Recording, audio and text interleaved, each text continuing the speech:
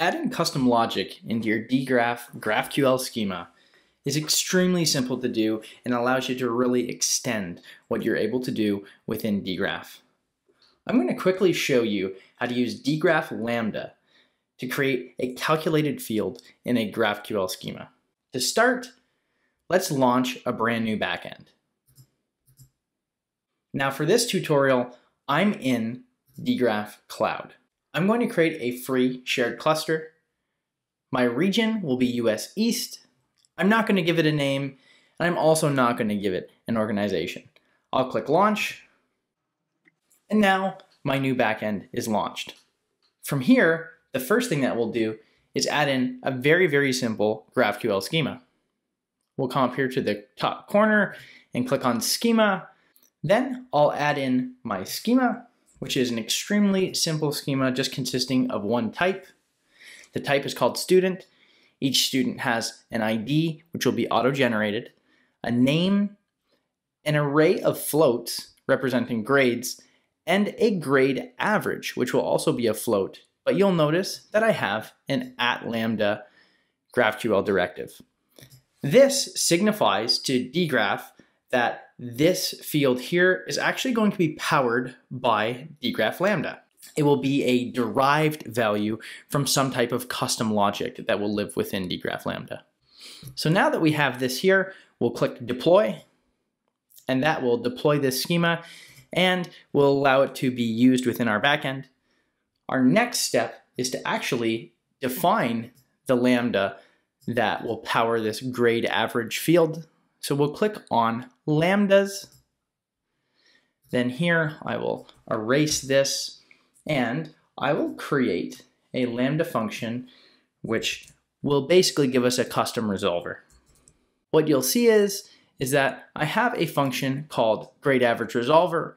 It will receive an argument which is called parent and I'm going to grab the grades field from that parent. So this parent here is actually our parent type, which is student, and that would have access to ID, name, and grades. I only want grades, so I'm just going to grab that from it here.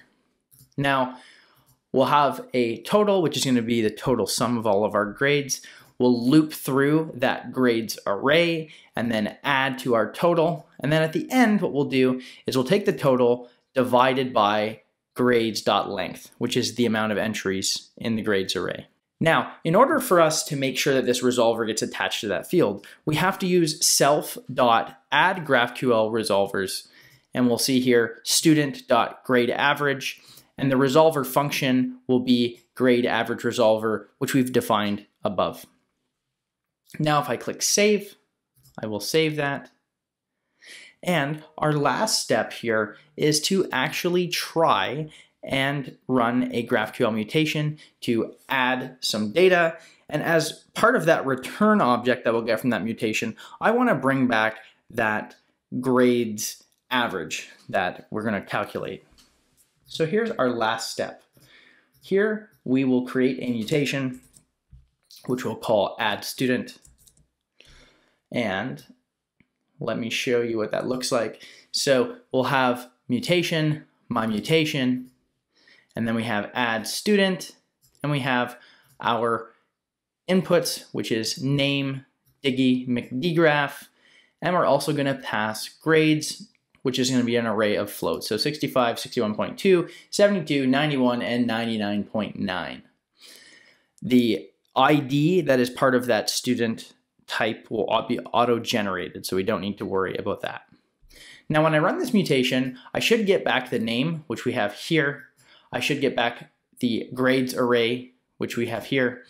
And I should also get back grade average, which should be the lambda result of this array being brought into it.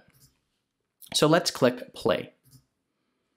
And here, what you'll see is we get name, which is the name that we added, we get the grades of that student, and then we also get the grade average, which what hap what's happening here is when we pass in this mutation or when we pass query, that field for grade average will actually go to that custom resolver and bring that dynamic value back based on whatever grades are being supplied. just to show you a little bit differently, let's add in a couple more grades and we should see it increase. And we'll add another 100% here. And we will run this mutation again. So we'll add a new student. We'll call it DiggyMcDgraph2 and press play.